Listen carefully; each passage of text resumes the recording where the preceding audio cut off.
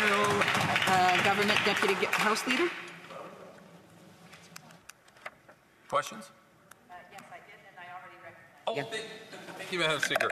Um, Madam Speaker, you know, the member talked about Canadians not trusting their government and Canadians uh, having concern over being able to trust institutions. But I'm wondering how much of a role he believes that he plays in that. Because he comes in here and he talks about corruption and this government's being corrupt and they're just filling the pockets of their insiders.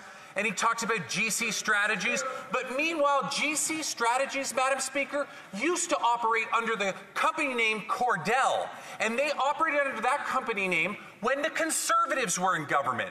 So for him to suggest that these are some kind of liberal insiders is just completely false. Crap. Anybody who says that is lying because it's not true. So I'm wondering if the member can tell this House what role he plays in bringing forward these um, ideas and Misinformation. in misinformation and informing Canadians to purposely pit them against the institutions that he said a constituent was told, raised a concern with him about. That's a good point.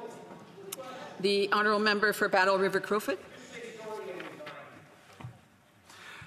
Well, thank you, Madam Speaker. I think it is become increasingly clear across this country that Canadians are sick and tired of those liberals and the, their di- I want to remind the honourable member uh, who is uh, yelling out uh, her comments that if she wishes uh, order,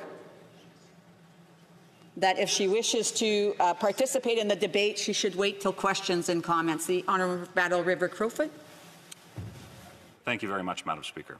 So, for that member to somehow suggest that uh, calling for accountability is uh, anything other than the very basic job that a parliamentary uh, that a parliamentarian or a parliament should do exposes to all Canadians the problem that exists within that party.